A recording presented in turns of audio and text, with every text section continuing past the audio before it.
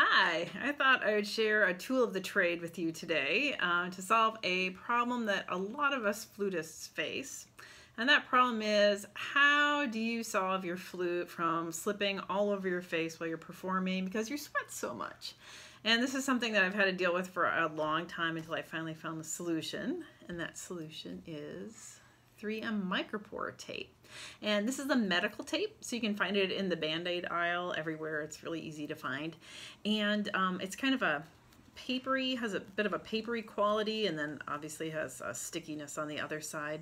And I guess it's hypoallergenic too, which is very cool. And you just tear a piece off, put it on your head joint. My lovely Powell head joint is just slightly obscured by the tape.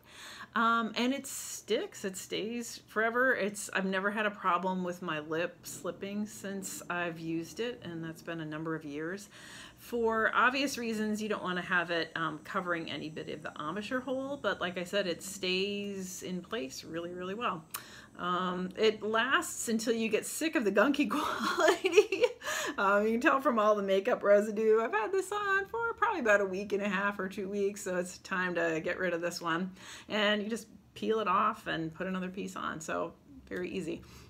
Obviously, this uh, size roll, because of that, will last you a very, very long time. So uh, very economical too. So anyways, I hope this tip helps and happy fluting.